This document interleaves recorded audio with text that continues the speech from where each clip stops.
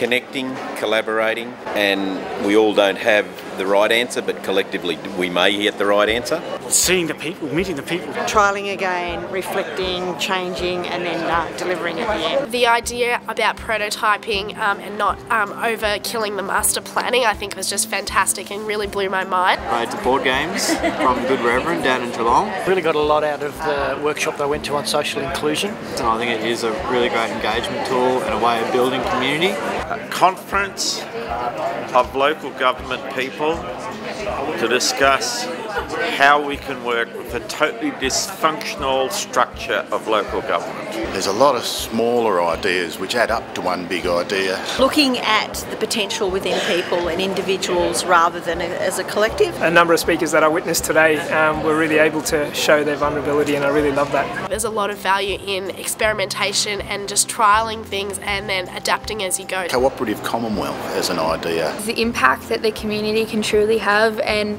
the amazing work that the community can do when they're supported. Be more inclusive to people who are uh, different or marginalised. Using what we have to achieve what we want as opposed to having to bring in new resources. We're the answer uh, to building community that's us. To avoid all of the dream crushes. One big idea that I got was that I can make a change, that I'm an individual in the community, that really nothing is too big for me to tackle. Put kids in charge and let them do their thing now and not later. Trialing everything and fixing mistakes along the way as opposed to thinking of the mistakes and making that stop you from doing any action.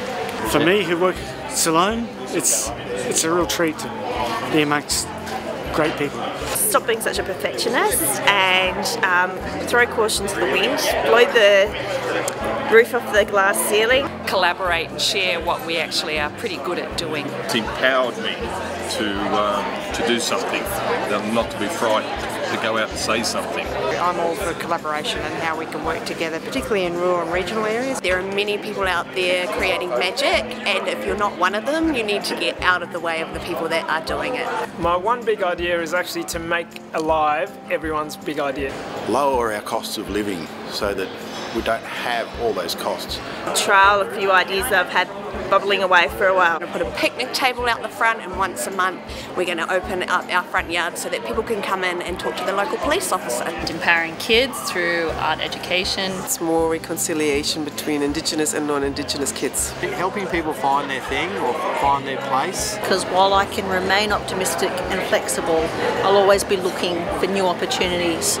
Take away the stigma from mental health. Empowering young people in the Mitchell Shire, um, where we're from, um, to drive some change about what they'd like to see in, in our community. Restart a project that all fell apart. So looking at how I can use some of the stuff from this weekend to rebuild that trust and rebuild those relationships.